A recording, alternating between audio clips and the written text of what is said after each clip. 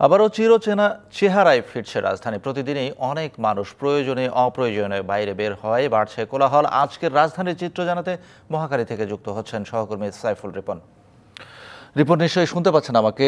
রাজধানীর চিত্র কি দেখছেন জানান আমাদের।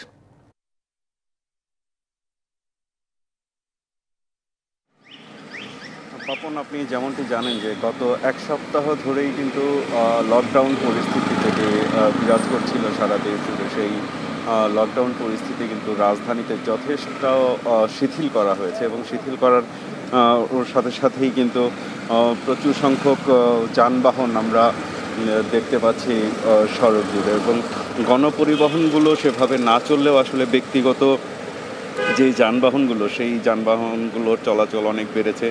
এছাড়া ভাড়া করা যে সিএনজি অটোরিকশা, এছাড়া রিক্সা এই ধরনের যানবাহনগুলো কিন্তু এখন যথেষ্ট পরিমাণেই চোখে পড়ছে এই রাজধানীর সড়কগুলোতে।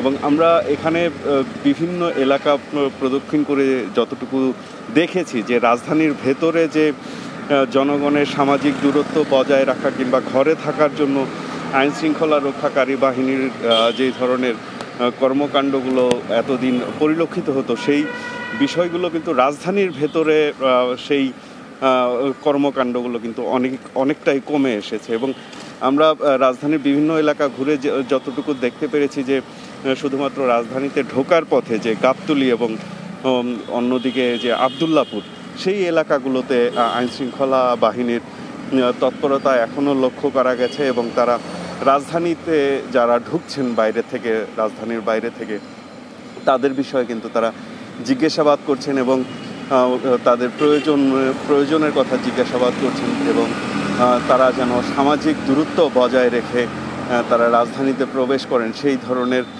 সেই রাজধানীর প্রবেশ মুখে সেই আইন শৃঙ্খলা রক্ষাকারী বাহিনী এবং সেনাবাহিনীর সদস্যদের কিন্তু তৎপরতা তৎপরতা লক্ষ্য করা গেছে। এছাড়া কিন্তু রাজধানীর ভেতরের যেই পরিস্থিতি, সেই রাজধানীর ভেতরে কিন্তু আইন শৃঙ্খলা রক্ষাকারী বাহিনীর যে তৎপরতা গত এক সপ্তাহ আগেও ছিল, সেই বিষয়টি যথেষ্ট শিথিল হয়ে এসেছে।